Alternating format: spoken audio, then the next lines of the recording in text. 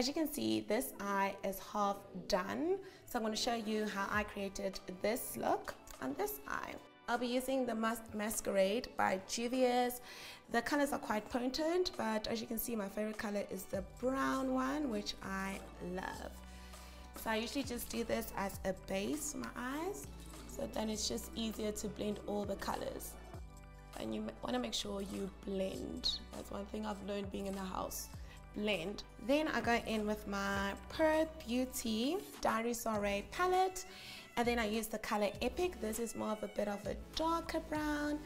There we go. And this is just to build up and to make this pink pop. Well, it's kind of looking like purple now, but girls got to do. And you can see I'm just doing a light line just above my eyeball and I'm just blending it in and out. And then as I'm blend, blending in and out, I go up. So I blend it up. Back to the Masquerade palette, I go in with this color. What's the number? Zobo, Zobo, that's the color, Zobo. You can see I always start in the outer corner of my eye and then I build it up. Kind of liking how this is turning out. So you can see purple, purple, still very potent, but not much in your eye. And I blend it all the way up to my brow bone.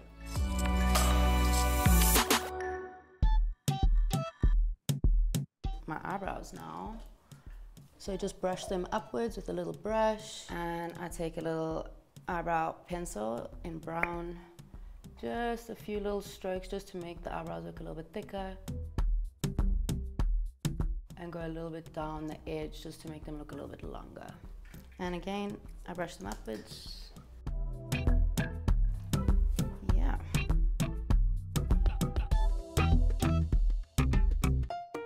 So step one when it comes to lipstickado, take out your lip liner, make sure she's sharpened. Thank goodness I wasn't embarrassed in this moment because she was. So line your lips just inside. Hey Mark, how are you doing? These are my lips for the night. No, they are not, okay? So stop with the judgment. So the lipstick that I'm going to be using tonight is Ruby Woo's Retro Matte from MAC come forth and line your lips with the lipstick. Thank goodness God gave me fingers because I'm gonna blend with my finger. Mm -hmm. Now we check the edges. You see that little mistake there? Maybe we don't do mistakes. No, we make sure we correct the errors so Mark doesn't think we are Popeye, who doesn't know how to put on lipstick. Okay, so I always use my sponges to help me correct, and then afterwards I use a baby wipe to clean them so that next time I'm correcting a purple lipstick, I don't put red by accident. Okay, so you're gonna come forth in the middle of your lip with your brown and press them, press them again and blend.